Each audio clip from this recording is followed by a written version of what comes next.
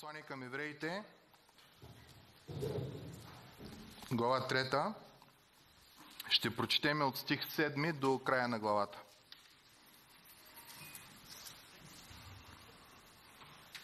Евреи, глава 3, стих 7. Затова, както каза Святия Дух, днес, ако чуете гласа му, не закоравявайте сърцата си, както в преогорчението, както в деня на изкушението в пустинята, където бащите ви ме изкушиха, изпитаха ме и видяха делата ми 40 години. Затова възнегодувах против това поколение и казах, винаги се заблуждават със сърцата си. Те не са познали моите пътища. Така се заклегва в гнева си, те няма да влязат в моята почивка. Внимавайте, братя, да не би да има у вас, у някого от вас нечестиво, невярващо сърце, което да отстъпи от живия Бог. Но се увещавайте един друг всеки ден, докато още е днес, да не би някой от вас да се закорави чрез измамата на греха, защото ние участваме в Христос, ако удържим твърдо до край първоначалната си увереност. Докато се казва днес, ако чуете гласа му, не закоравявайте сърцата си, както в преогорчението. Защото кои като чуха, го преогорчиха. Не бяха ли всички онези, които излязоха от Египет чрез Моисей? А против, против кои не годува 40 години? Не против онези ли, които са грешиха и чието трупове паднаха в пустинята? На кои още се закле, че няма да влязат в неговата почивка? Не на онези ли, които бяха непокорни? И така виждаме, че поради неверието си те не можаха да влязат. Може да седнете, мили брати и сестри. Един доста събуждащ текст. До този момент в трета глава на нас ни се напомни, че нашия Спасител е не само по-велик от ангелите, по-велик от пророците, че той всъщност е в същността си, в естеството си Бог. Напомня ни се, че като него друг няма, той е и Твореца, той, който украсява творението, той, който дава живота си за твоите и моите грехове, но също ни се казва и, че в цялата си тая функция, която той изпълнява, той е верен. На него може на 1 милион процента да се вярва. И автора ни каза в първите 6 стиха на евреи, че той е верен като апостол. И там думата, която той използва, беше с определителен член. Апостолът. Да, имаме апостол Петър, апостол Павел, апостол Йоанн, но Исус е апостолът. И думата е пратеник. Той е единственият, който е слязал от небето към хората. И в тази си функция, като Божий представител на земята, Бог в плът, текста казва, той беше верен. Той не ни скриваше неща, той ни казваше истината, той благославяше, той изцеряваше. Той казваше, елате при мен всички, които се трудите и сте уморени и аз ще ви утеша. Втората функция, която казва до, до стих 6, казва е, че той е верен като първосвещеник. Ролята на свещеника, на първосвещеника е да възстанови разбитата връзка между човек и Бог. Исус влиза и в тази роля, като първосвещеник. И той е различен от всички други първосвещеници. Всички други първосвещеници са принасяли жертва първо за себе си и след това за народа и са отивали пред Бог с тая кръв от жертвата, за да може Бог, виждайки пролятата кръв, да прости греха на народа. Текста ни казва, че Исус е нашия първосвещеник, най-великият, защото Той даде собствената си кръв за да няма нужда от повече жертви. Веднъж за винаги. И ни се казва, че като първо свещеник той беше верен. И там говорихме за това. Когато той отиде на кръста, мили братко и сестро, той е Бог на славата. Той беше разпънат чисто гол.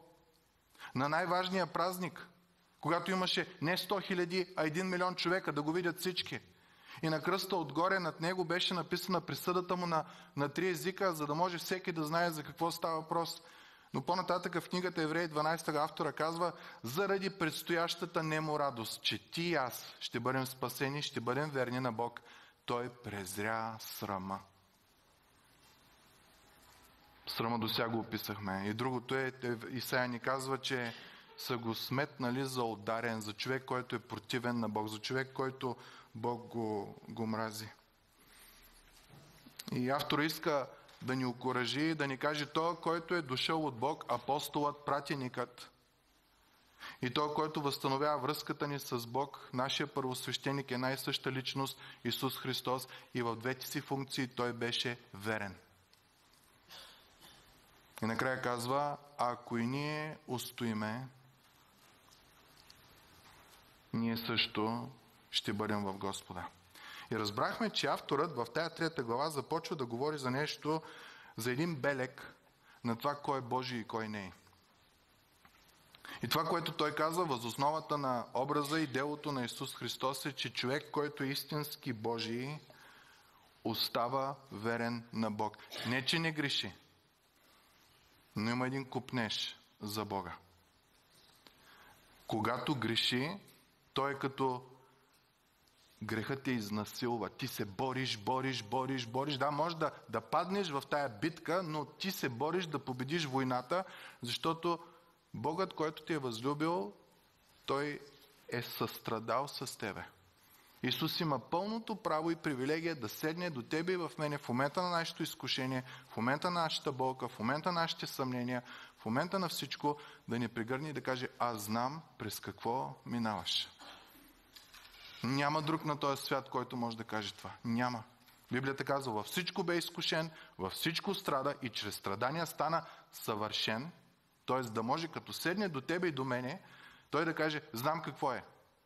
И ти си попълни празното място. Бог толкова ни обича, като праща такъв Спасител. И текста завършваше стих 6. Негов дом сме ние, ако удържим до край дразновението и похвалата на надеждата. Отново говори за устояване, устояване и устояване. И много ресно не казва, Неговия дом ще сме ние, ако удържиме. Текста казва, Негов дом сме ние. Тоест, в момента, в който ти устояваш от вярата, в вярата и държиш за Бога, ти си Негов дом. И това виждаме една от характеристиките на истински повярвалия човек – устояването. През каквото и да минава, той става верен на Бог.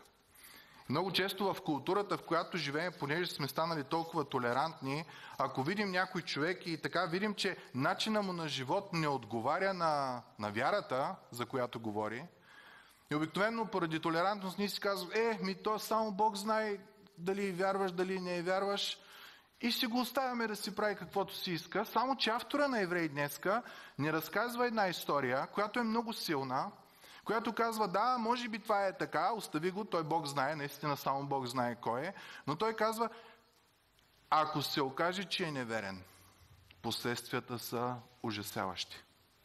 Ако се окаже, че е неверен, последствията са ужасяващи. Четах преди много години една история в една църква в Америка, имало съживление – Изведнъж хората по време на служба започнали да се покайват, започнали да се молят, започнали да, да четат Словото и просто се усещало как всичко е от сърце, не нали, идвам на служба и, и се тръгвам, не е променен. И тая служба продължава втори, трети ден, три дена продължила тая служба нон-стоп. Хората не искали да си тръгват. И накрая на службата излязва Излезли хора отпред, нали, в Америка излизат отпред да покажат, че са приели Исус Христос за Господ и Спасител. И знаете ли кой е бил първия, който излязал? Пастира. Втория, който е бил излязъл, е била тая сестра в църквата, която всеки си е мислил, че е най-верната на Бог жена в, в тая църква. И така 50 човека от цялата църква излезли и повечето от тях са били хора, за очуда на всички, това беше във вестник споменато, че всъщност са били като стълбовете на вярата в църквата. И при последващи интервюта тия хора са казали, оказва се, че аз съм изпълнявал всичките неща, добри дела и неща, които трябва да правя, но Христос не е бил в сърцето ми. И тая история, която еврей ще ни разкаже, описва горе-долу и такава ситуация. Хора, които са в църква, които претендират, че са християни, които живеят живот на, на християнство, и нали, делата им са такива, правят нещата, обаче автора на еврей казва, има възможност да са лакирани Нали, изгнило дърво, ако го лакираш, то остава изгнило. Може да изглежда добре, ама изгнило. Може да са, както Исус използва една фраза, варосани гробници. Нали, върта е хубаво нещо, бяло нещо, чисто нещо, обаче какво крие? Смърт вътре в гнилота, вътре в, в себе си. И, и може да е, как да го наречем, най-висша форма на актьорско майсторство в църква. И автор на еврей казва, не трябва да има такива хора. Да ги оставяме да се лъжат, че щом правят определени неща, живота им е песен и Бог ги обича и тези а, неща. Много хора казват, аз съм християнин, кръстил съм се. 2008 година всъщност дойде един човек в църква. Няма да забравя тая случка. След службата излизаме, говорим и той каза, за първ път съм тук, много ми хареса. Викам, супер. Кое викам ви хареса най-много? И той, като ти кажа честно, днеска осъзнах, че аз не съм християнин. До сега съм си мислил, че съм християнин, но днес аз осъзнах, че не съм. И казва, благодаря на Бога, че ми изяви истината. Повече аз този човек не го видях. Дано да е отишъл някъде на църква, но за такъв вид хора говорим които си мислят, правят неща, нали, които трябва да правят. В църква сме тук, идваме на служба, пускаме в диско дарение на хората, сега помощи за Сирия за и, и Турция ще събираме, а, кафе правим. Правим нещата, които са църковни, но сърцето ни, в сърцето ни го няма Бог. И автора на Евреи иска да е уверен, че такива хора няма в църквата, към която пише. Ние днес ще ги наричаме лакирани с религиозност, варосани с религиозност или образно казано една маска слагат. То текст е много важен, защото хората, към които автора пише, са били експерти в Стария Завет. Начина по който той подрежда проповедта, посланието е много сложен. Тоест трябва е човек, който наистина има познания по Стария Завет, да може да, да разбере в дълбочина това нещо. Ние изучаваме стих по стих, на тях това нещо им е било четено на една служба. Друго нещо, знанието за Исус им е било прясно. Най-вероятно са минали 30, в най-лошия случай 40 години от момента, в който Исус е възкръснал, което означава, че те са свидетели на апостолите и на техните чудеса и на всички велики дела, които са вършени в тях. Един вид може да си кажем, това трябва да е било най-перфектната църква и най-перфектните християни. Те са имали достъп до очевидците на, на вярата. В този текст, който прочетохме, има една дума, която се повтаря три пъти. В стих 7 казва Днес, ако чуете гласа му, стих 13, но ако се увещавате един друг всеки ден, докато още е днес, и стих 15, днес, ако чуете гласа му, и ще кажеш, че автора ни набива едно, че тази дума днес е много важна.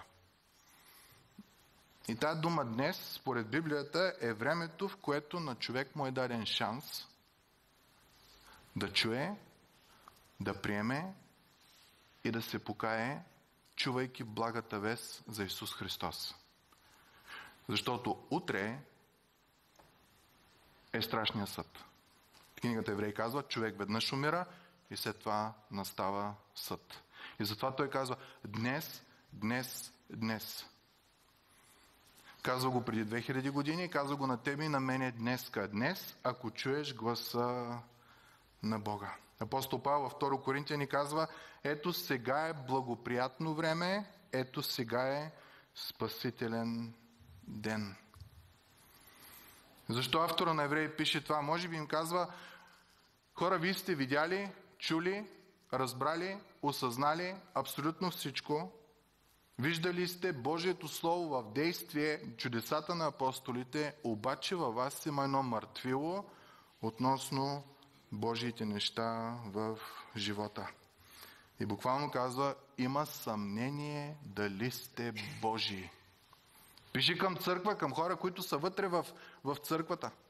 И не пише толкова дали можеш да си загубиш спасението или не можеш. Автор е загрижен за това, че може да си сложил една фасада, една маска, която ти си мислиш, че е истинска, обаче живота ти делата ти, намеренията ти показват, че всъщност не е истинска. По-нататък той ще каже, Божието Слово е остро, по-остро от всеки двостър меч и то пробива плът, кости, мозък, влиза навътре, стига до помислите, дори казва и до намеренията. Не дали си направил добро или зло, а защо си направил доброто нещо. Толкова е педантен Бог в нашия живот. Не само дали правя добро, а защо правя доброто. Нека да обърнем внимание на, на текста. Може ли да кликнеш, извинявай? Трябва да избереш. А... Добре, без текст. Ще го четем на глас. Стих 7, нека да прочетем. Затова казва, както казва Святия Дух, днес, ако чуете гласа му, не закоравявайте сърцата си, както в преогорчението, както в деня на изкушението в пустинята, където бащите ви ме изкушиха, изпитаха ме, видяха делата ми 40 години, затова възнегодувах против това поколение и казах, винаги се заблуждават със сърцата си, те не са познали моите пътища. Така се заклех в гнева си, те няма да влязат в моята почивка. Ето го текста. Историята, която описва автора, се среща в числа, книгата числа, глава 13. Там е момента, където Господ довежда израелския народ до брега на обещаната земя. Цял живот той им се е клел от времето на Авраам и е направил завет с тях, че има земя, която е за тях, която ще бъде велика земя, която ще бъде плодородна земя, там ще бъде място на, на радост, на развитие и на всякакви такива неща. И в този момент те са на брега на обещаната земя. Те я виждат. Изпратили са съгледвачи, които са отишли и са взели материални доказателства, веществени доказателства, да им покажат, че това е велика земя.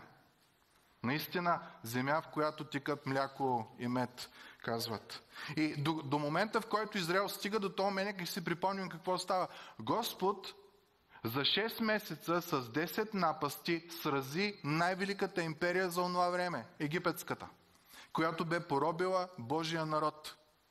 И те бяха свидетели на тия 10 чудеса, които се случваха. Господ унищожи първородния, с което буквално отряза главата на, на Египет, на фарона първородния. И тогава те, те ги пуснаха. Бог раздели морето пред тях. В днешно време гледам много филми вървят, които се опитват да обяснят, че всъщност то не е било едно море, ами е било една рекичка, като няма всъщност никакви доказателства, всичко е догадки, но е, идеята е, че се опитваме да минимизираме това, което Бог е направил, до момент, който някой ще каже, а, то няма такова нещо, въобще не е станало. Текста ни казва, че ги водише в пустинята и в пустинята, знаете ли какво ядаха? Небесна храна, манна. Не мана манна. Яраха месо, пътпадъци, такова дето няма нещо, което да ги разболее. Вода от скала Господ им прави. Даде им закони, даде им напътствия на величието си, показа величието си на планината Синай, когато хората си изкараха акъла и казаха какъв е той Бог и казаха на Моисей, нека той да не ни говори директно, защото ще умреме, а нека ти каже на тебе и ти ще го кажеш на нас.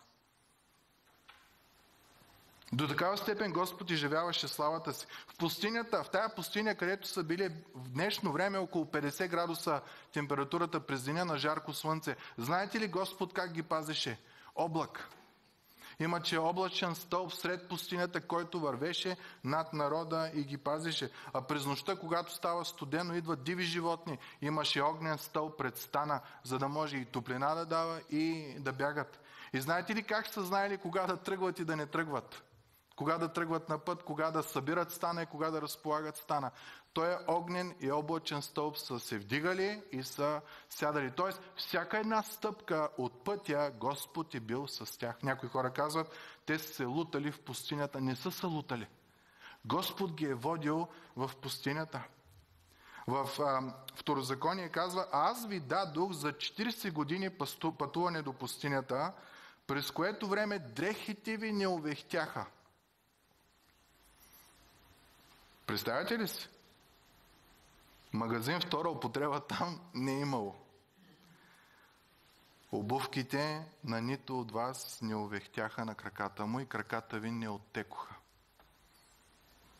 Защо Бог казва, грижа се, грижа се. Всеки ден тия хора са виждали Божиите дела. Искам да ви попитам днеска, вие виждате ли всеки ден Божиите дела във вашия живот? Това слънце, което може да унищожи всичко, всъщност е това, което те събужда рано сутрин и дава живот. И когато застанаха след всички тия неща, които са видяли, застанаха на брега на обещаната земя, виждайки я, пратили хора, шпиони да я разгледат, да, да върнат веществени доказателства. Текста казва и представяха зле пред израелтяните земята, която бяха съгледали, като казваха земята, като обходихме, за да я съгледаме, е земя, която поглъща своите жители. Тоест има гробове. И целият народ, който видяхме в нея, са много високи мъже. Там видяхме изполините от изполинския род и пред тях на нас ни се виждаше, че сме като скакалци. Такива се виждахме и на тях. А Исус навини Халев и Моисей и Арон се мъчиха да убедат народа, че тази земя е от Бог и че те чрез вяра трябва да влязат в нея. Знаете ли хората какво правят? Вдигат камъни и искат да убият Исус, Навин, Халев, Моисей и Арон. В този момент в историята се намесва Бог и казва до тука. Тези прекалиха. Те няма да влязат в тази земя. Аз се разлях за тях. Аз им показах величието си, показах им грижата си, показах силата си, показах мощта си, абсолютно всичко. Но те продължават да не ми вярват и да се бунтуват. И Бог казва, тук в тая пустиня ще умрете. А децата, за които се притеснявахте, че те ще умрат в тая пустиня, всъщност тия ваши деца, те ще влязат в обещаната земя, но вие няма. Един вид, ще умрете тук, точно както бихте умряли в Египет, ако никога не бяхте тръгнали. Много смразяваща мисъл. Днес, стих 7 казва, ако чуете гласа му, не закоравявайте сърцето си. Та история е цитирана на три места в Библията. Първата е в Моисей, в числа. Следващия път цар Давид я цитира 500 години по-късно. Явно имал същата ситуация в неговото време – където хората изпълняват всички религиозни неща, ходят на църква, дават десятъци и всички това, но вътре в сърцето им няма нищо. И текста Давид казва, днес, ако чуете гласа му, не закоравявайте сърцето си. 1064 години след като Давид пише това нещо в книгата Евреи, отново се споменава този стих. И днеска, 2000-та година, ние четеме този текст, което означава едно. Божието Слово е непреходно. Ако е било вярно тогава това нещо, то е вярно и днеска. И това, което иска да ни каже автора е днес. Ако чуеш гласа му, не закоравявай сърцето си. Тук не говорим за хора, които очевидно е, че са тръгнали по лош път. Нали, не говорим за наркомани, не говорим за алкохолици, не говорим за такива неща, които са злодеи, бият деца. Тук говорим за хора, които са кротки, мирни в църквата и ако им зададеш въпроса защо днеска Бог ще те пусне на небето, техният отговор ще бъде защото съм добър човек. Защото върша добри дела. Като по-нататък автора на Евреи ще каже, че този начин на мислене всъщност потъпква Божия син. И пролятата кръв, която той е дал за твоето спасение, ти я смяташ за нищо, защото си кажеш, не, че Исус е умрял за мен, а моите дела. Везните в моя живот. Доброто, доброто натежава. И автора на Еврей казва, да няма някой, който така се е объркал. И до тук разбираме един старозаветен принцип, който е споменат и в Новия Завет, че хора, които се чувстват и се радват на Божието величие, сила и власт, но не се променят, няма да видят освежителни времена от Господа. Това каза автора на Евреи. Всъщност, между другото, същото става Исус Христос. На две места в Словото ни се казва, че имаше някои, които го следваха, заради хляба и рибата, които той даваше. Е, аз ако съм с него, че аз няма да огладнея. Втора група казваше, че го следваха заради чудесата. Е голямо множество, но не се каза, че Исус не им се доверяваше, защото знае какво е в човешкото сърце. Големи тълпи, големи тълпи имаше сред Исус, обаче някои от тях бяха, мало, аз ако съм стоя, няма лекари, няма лекарства, няма нищо. То ще е блаженство, ще спеста от пенсия, от заплата, много пари ще, ще изкарам. В днешно време някои хора казват, о, в църква има помощи, има кафе, има чай след това. Ама то е страхотно нещо да си, да си християнин, но никога не предават живота си на Исус. Когато стане трудно, тежко, неудобно, извинение намират или нещо друго, но не, стават, не остават верни на Господа. Историята с Сирот е много интересна. Знаете, той хваща Йоанн Кръстител, защото говори неудобни неща относно неговия живот. Но текста ни казва, че той тайно викаше Йоанн да говорят. За какво ли са говорили? Може би са говорили за Месията, за Спасителят, който идва, защото Йоанн друго не говореше. Йоанн говореше за един, който е по-велик от мене, който ще дойде а, след мене. И има много хора като Ирод. Много обичат да говорят за Бог. Много обичат да говорят за свръх естествени неща. За чудеса, за, за всякакви не свръхестествени, но сърцето им не иска да приеме живия Бог. Напомпват се, радват се, но не предават живота си на Бог. Не устояват в, в вярата. Внимавайте, братя, стих 12 казва, значи до тук описва историята. Има случай в Библията и Бог е същия вчера, днеска и завинаги, в който хората са видяли всички Божии дела, били са част от Божия народ, който е изведен от Египет, но са продължавали в живот на неверие и на невярност. И един ден Бог казва край. Повече няма. Текста казва, заклевам се, повече те няма да влязат, те няма да влязат в моята почивка. И автора казва, има реална опасност това да се случи днеска с вас. Стих 12 продължава, внимавайте, братя, да не би да имал някого от вас нечестиво, невярващо сърце, което да отстъпи от живия Бог. Тоест, внимавайте историята в Стария Завет да не се повтори в днешно време. Да няма сред Божието общество вярващи някой, който да има нечестиво, невярващо сърце, което да отстъпва от живия Бог. Да не се окаже, че в църквата е пълно с правоверни, е пълно с послушни, но да, няма, но да има един, който да е, не е новороден, а да е лакиран, да е варосан и да е сложил лак върху старото и върху изгнилото. При едно от големите съживления в Шотландия, където са повярвали около 1 милион човека за 6 месеца, има един проповедник, който проповедта му е била само това. Трябва да се новородите, трябва да се новородите, трябва да се новородите. И на един мъж му писнало, защото само това слушал в църквата и му казал, ма защо само това говориш? И той каза, защото трябва да се новородите. Без да се новородите няма. Всичко е лак, варосване и всякакви такива неща. А, сега темата за ваксините е малко чувствителна, ама нека говорим за старите ваксини. Каква е ролята на вакцината? Вкарват ти малка част от умалмощения вирус в тебе, който после ти дава една защита, тялото ти изгражда антитела, за да може вероятността да се разболееш от болестта, за която си вакциниран, да не се случи. Нали така? Някои от нас са вакцинирани спрямо Бога. Дадена ни е малка доза. Малко така сме се подбудили, възбудили за Господа. Дошли са и ни хубави времена и това. Обаче после живота ще кажеш, че в едно плато. Пък ние знаем, че живота или растеш, или умираш.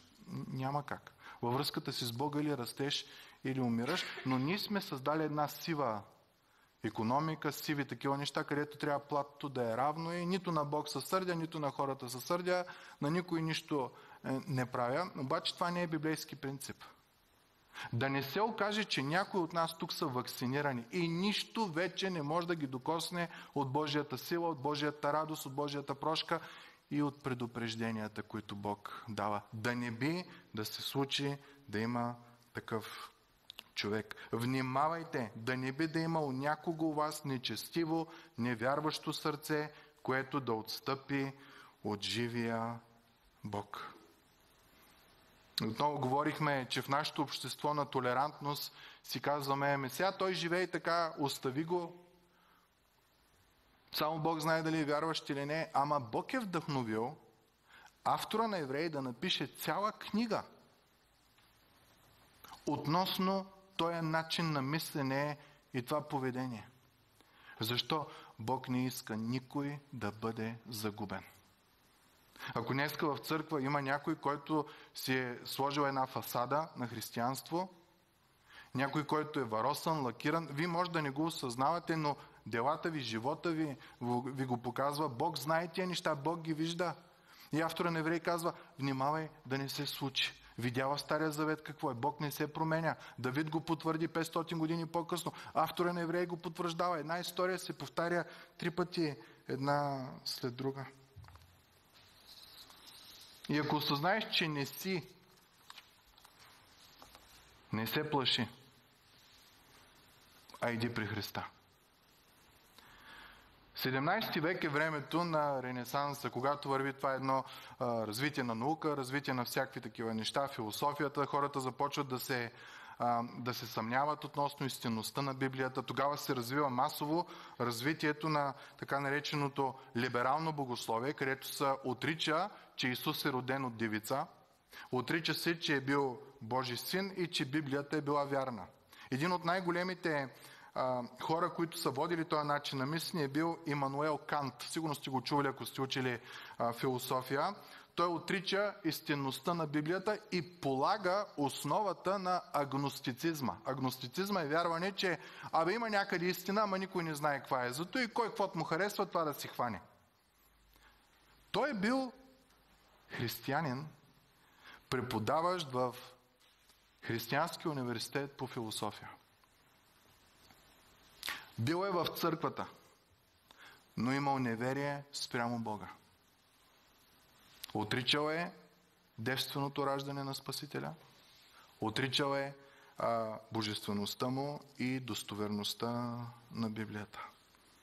В днешно време има един учен в Америка, Барт Ерман се казва, който едно време бил златното момче на старогръцкия език. Учил е преди от най-големите професори Брус Мецгер – но в даден момент, при една криза в неговия живот, той започва да се съмнява за всичко и почва да търси подвола теле и пише книги след книги след книги и накрая той сам признава, аз съм агностик. Накрая стигнах, че нищо не знам.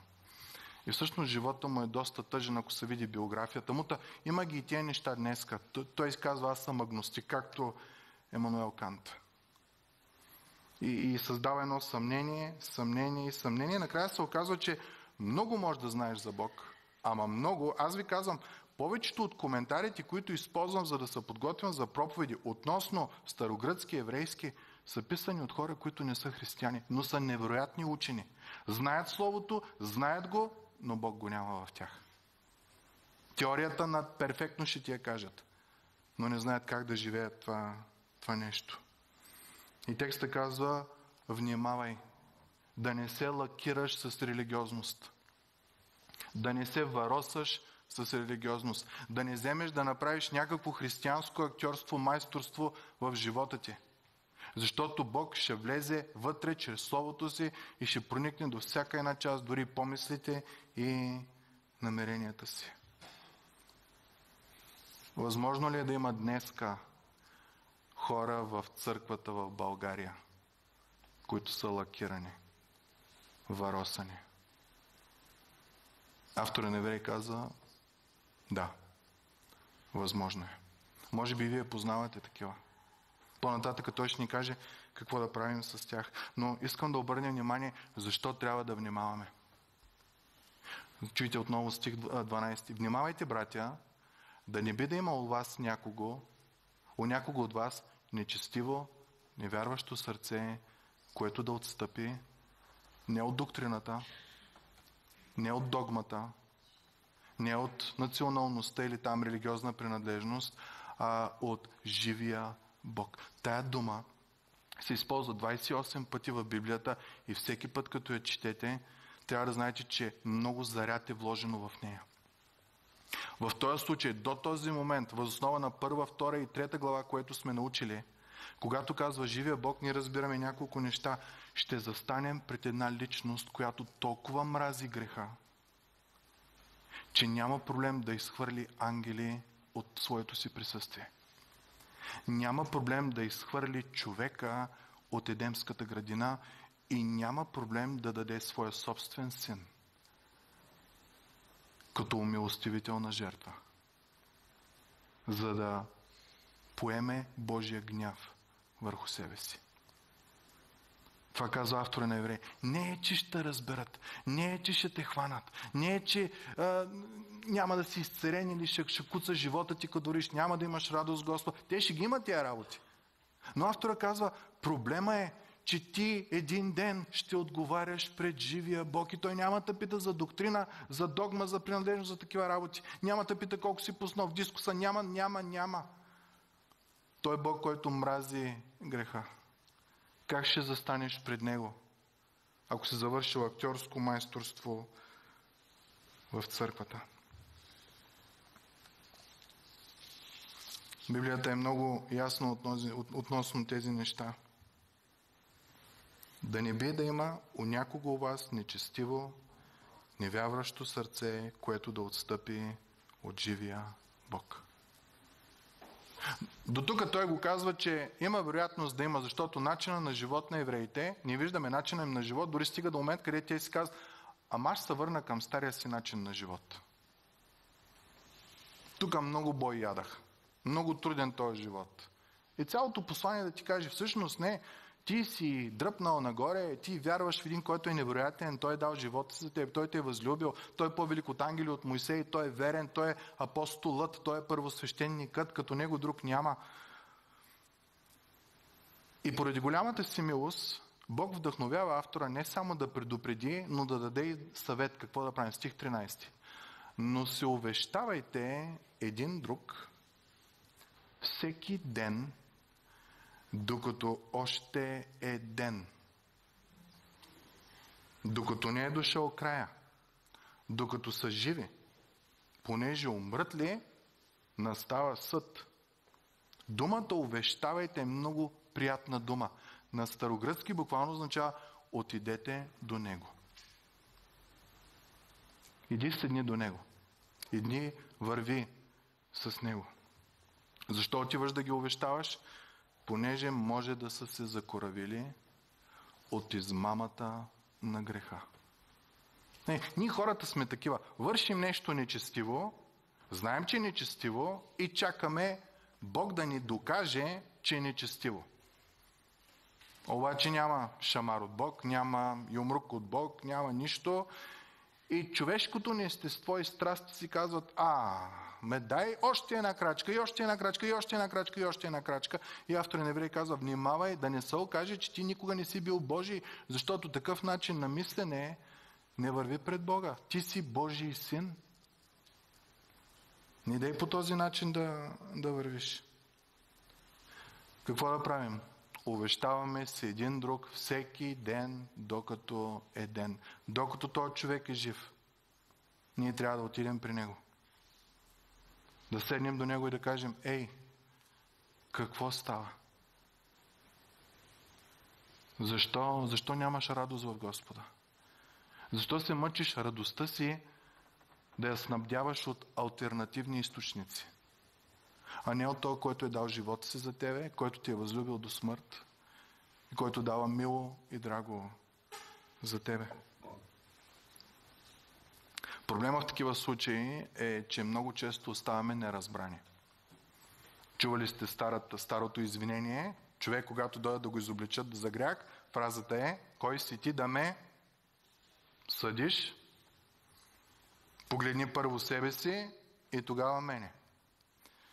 Което означава, че има възможност, когато ти отидеш с най-добри намерения, виждайки брата или сестрата, не вървящи в Божия път, с най-голяма любов да останеш неразбран. Да ти кажа, ти ме съдиш. Спри да ме съдиш. Да, ама Словото окоръжава да се увещаваме един друг, докато можем.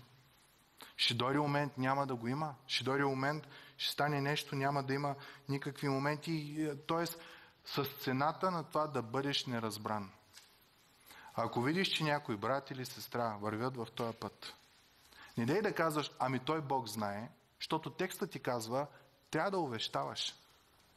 Иди и му кажи, с цената, че може да не те разбере. Защо? Защото може да спасиш един човек, който си мисли, че е християнин и накрая ще свърши в ада. Изобщо да ходи в ада. Това е Божията любов. Аз в момента се моля за роднини мои.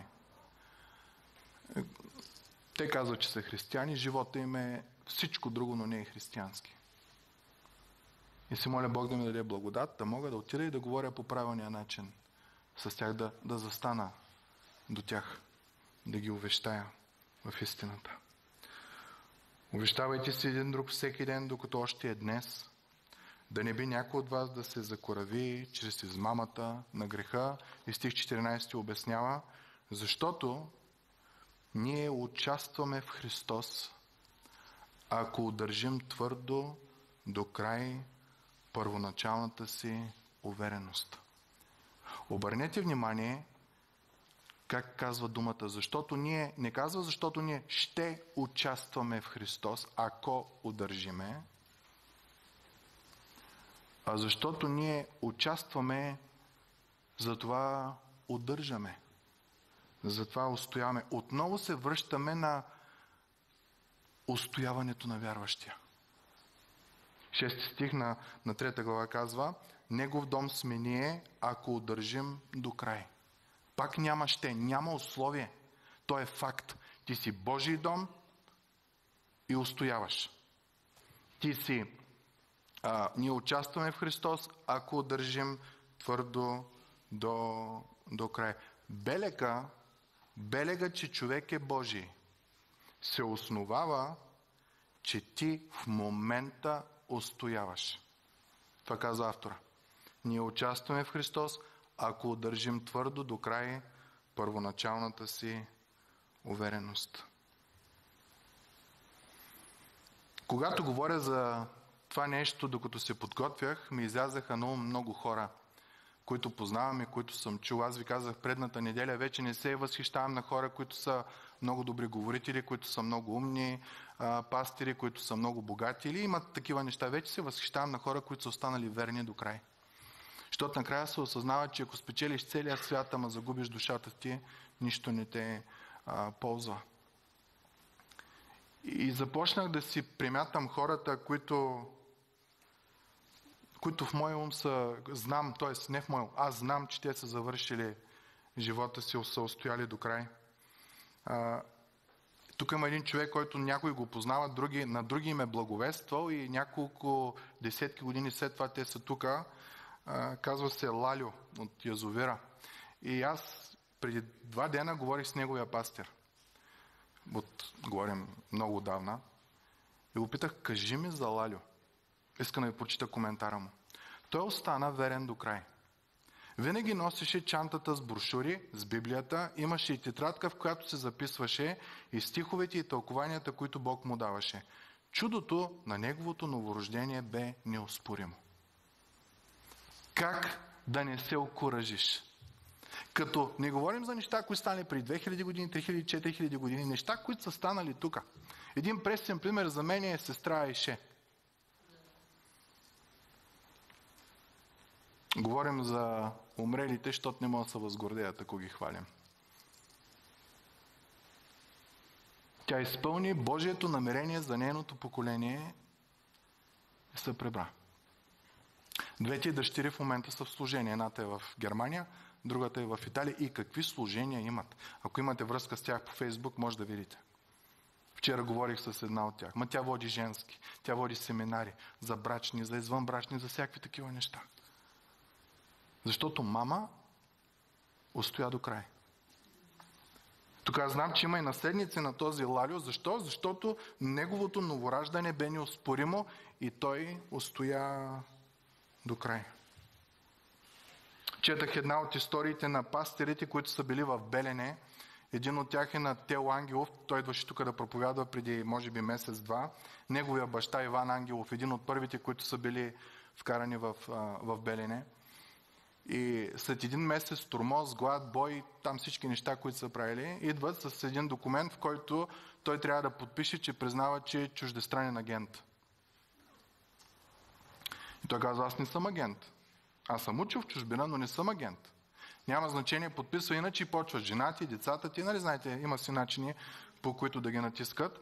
И част от неговото свидетелство е, че в даден момент той, като чува какви ужаси ще стават с семейството му, той вика, взех химикала и треперейки, но твърдо решен да подпише в този момент от една друга килия, започва да си пее песента «Стой верен и ти за Христа, Твоя Бог», защото той твърдо, той твърдо стоя на кръст на Голгота заради теб. Не спомням точно текста, но в, в, в тази идея. И казва от този момент, аз казах, не, аз оставам твърд за Бога. Хвърли химикала, не подписа документа. Да, доста години след това го освободиха и беше в неузнаваемо състояние, но устоя до край.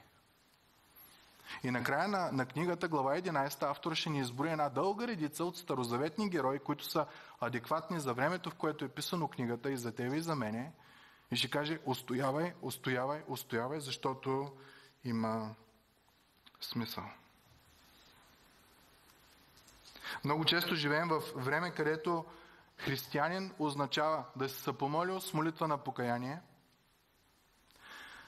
да си взел кръщение и да имаш кръщелно свидетелство, да си имаш Библия, да е най-високо в стаята, нали, енергията да, да хваща това и някои случаи да говориш език и такива работи. Но според Библията доказателството е да си новороден. Ти си нов човек. Старото премина, всичко стана ново. Ти не можеш да се върнеш вече към стария начин на живот. Нещо в тебе е убито от Бог и ти е даден нов живот отново от Бог. И автора на Евреи казва, за да тръгнеш да се връщаш постоянно, има вероятност да си лакиран – с религиозност. Да си варосан. Затова казва, внимавайте, братя, да не би да има някой. И ако има, увещавайте такъв. Докато е ден, докато има шанс, докато има време. И как разбираме кои са външните белези на тия, които са вярващи? Миналия път го говорихме. Те са три белега. Първото е правоверие.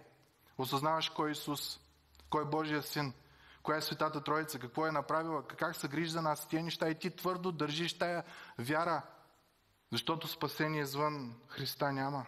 Второто е променен живот. Няма как да останеш същия, ако Богът на този свят, който е огън поглъщащ, който в него сме повече от победители, да останеш същия човек. И третото е устояването. Автора казва да удържиме до край. Стих 6, ако удържим до край.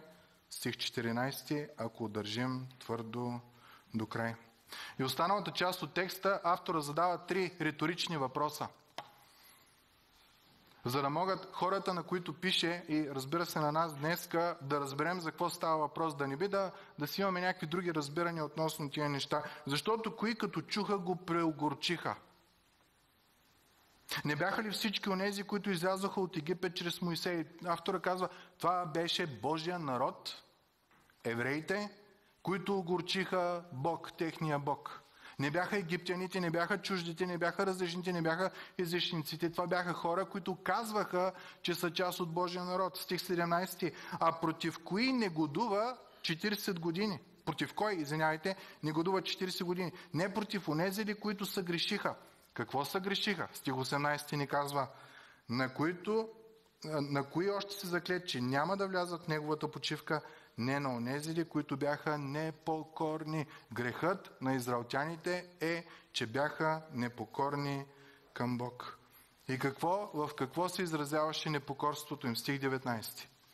И така виждаме, че поради неверието си те не можаха да влязат в Божията почивка. Стих 12 оговорихме преди малко. Да не би да има у някого от вас нечестиво, невярващо сърце, което да отстъпи от живия Бог. Тая сутрин Божието Слово ни казва внимавай в тебе и в църквата да не се повтори историята от числа 12 и 13 глава. Това бяха хора, които започнаха пътя на спасение. Изведи ги Бог от робството, от Египет. И тръгнаха. Бяха докарани до брега на обещаната земя. Една крачка и са там, където трябва да бъдат. Но когато трябваше да се доверят на Бог сред трудностите, сред изпитанията и да влязат в земята, където има гиганти, които ние сме като скакалци пред тях и те пред нас са като изполини и че там умират хора и такива работи, те проявиха неверие, което автоматично води до непокорство. Стигнаха на една ръка разстояние, но не влязоха.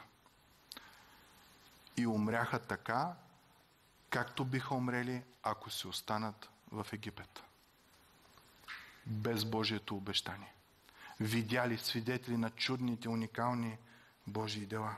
Внимавайте да не би да има у някого от вас нечестиво, невярващо сърце, което да отстъпи от живия Бог.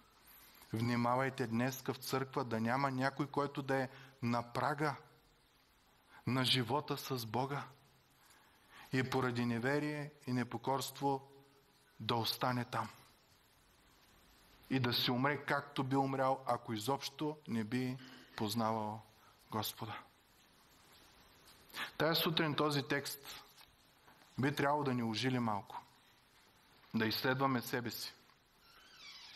И ако знаем брати и сестри, които са в такова състояние, текста казва да отидем до тях, да ги увещаем.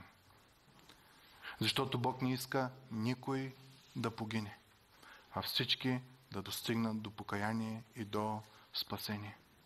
При християнството относно спасението толерантност няма. Не мога аз да оставя човек, който е брат, който а, е в църква, да го оставя да върви в неправилния път. И много често някои казват, ами аз виждаме тая сестра, ще звъна на пастира да говори с нея. Не, Бог твоите очи е отговорил, твоето сърце е прокървяло за това нещо. Моли са, иди говори с този човек. С брат, сестра, с какво? Иди говори, кажи им, ей, какво става, бе? Защо нямаш радост, Господа? На църква не идваш. Сърцето ти пели за Господа. Имаш и насладата от Господа. Давид казва, зарадвах се, когато извинявайте, зарадвах се, когато ме рекоха да отида в дома Господен. И казва, защото там Бог е заповядал благословението, живота вечен.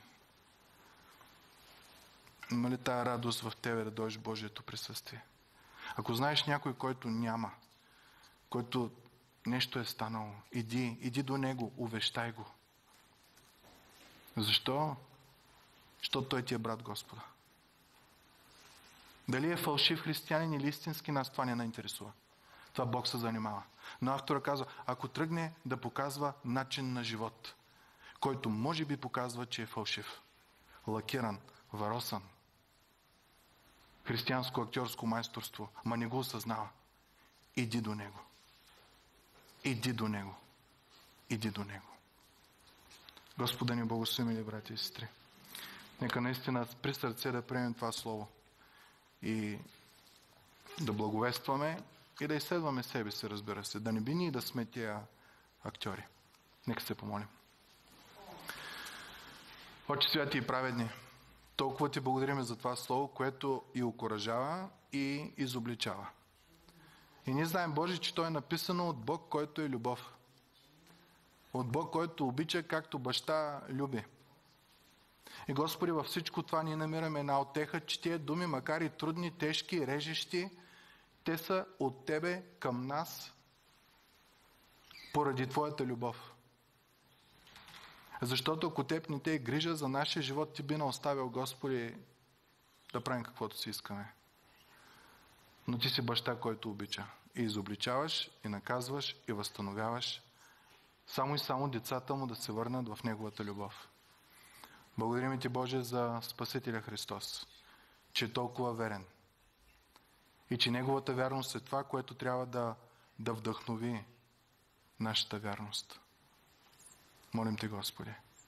Нека да няма днеска никой, който да е варосан, лакиран с религиозност или да се сложил някаква фасада християнска. Моля Ти, Господи, влез в сърцето. Ако трябва да ползваш някой от нас, отвори ни очите.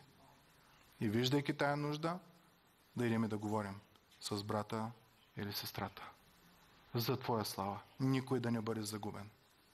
В името на Христос помолих това. Амин.